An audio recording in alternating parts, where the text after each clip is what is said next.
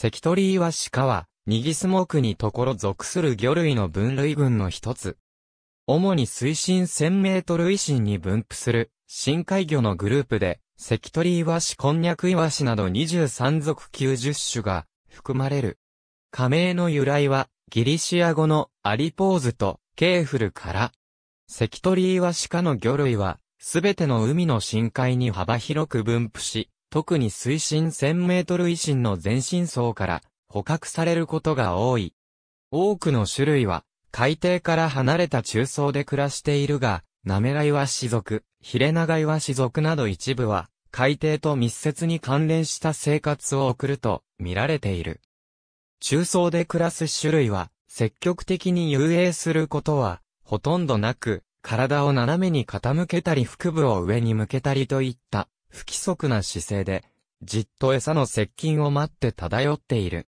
本家魚類の食性は多様性に富み、小魚や甲殻類を捕食するものから、ハゲイワシ族の一部のようにクラゲクチクラゲなど、ゼラチン質の浮遊生物を染色するもの、あるいは、デトリタス食性のものまで様々である。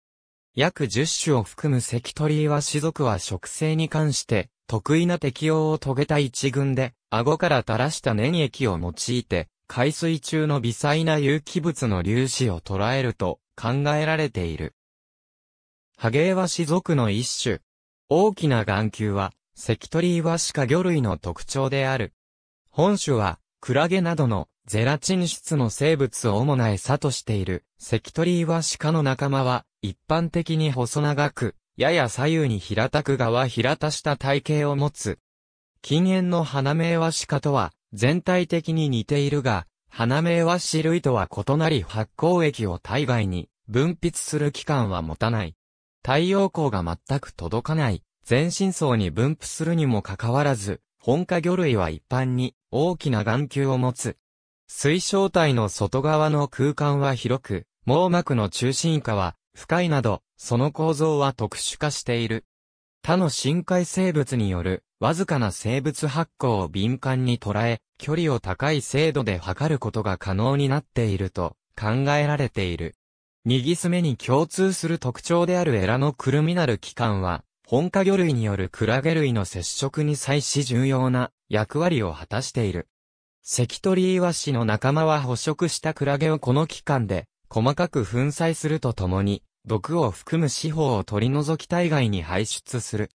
関取イワシ類の高校から食道にかけての粘膜は、厚く丈夫な結合組織に覆われており、四方毒から身を守る適応と見られている。多くの種類では、歯は小さい一方、エラ歯は長く、数が多い。胸びれのヒレ状は7から18本。エラ状骨は通常5から8本であるが、そこの小切り岩種族、鬼岩種族は、それぞれ12本13本と多い。一部の種類は鱗を完全に描く。関取岩種科にはおよそ23属、少なくとも90種が記載される。鬼岩種族は、上顎の歯を描くなど、独自の特徴を持つことから、かつては独立の鬼岩種科レプタクリクチデーとして分類されていた。一方、本家に所属していたバソリコ族、ハーゲージや族の2族は、バソラカナイデー科として分離されている。ハゲーワシ族の一種。本族には、関取イワシ科の中では最も多い20種余りが所属する関取イワシ族の一種。背びれが体の後方に位置し、油びれを持たないことは、関取イワシヤ目に共通する特徴である。ノコバイワシタリズマナやアンチラーウム。日本近海からも報告のある種で海底付近で生活しているとみられる。ありがとうございます。